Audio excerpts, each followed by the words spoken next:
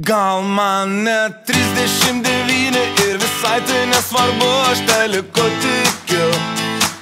Sakau tau į žiūrį, žiūrėkime kartu. Ir jei tau net 39 ir jau tik, kad tau pavydį TV3 žiūri. Tai tu šeimoje esi, savas būti gali.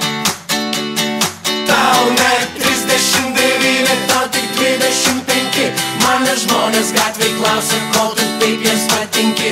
Ir mes jaučiam, kad tu myli ir mylėti mus gali.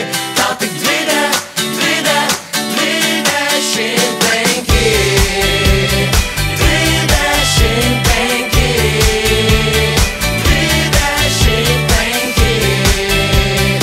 25. Žiūrimiausia ir mylimiausia TV3 švenčia 25 gimtadienį. Gerą kartu.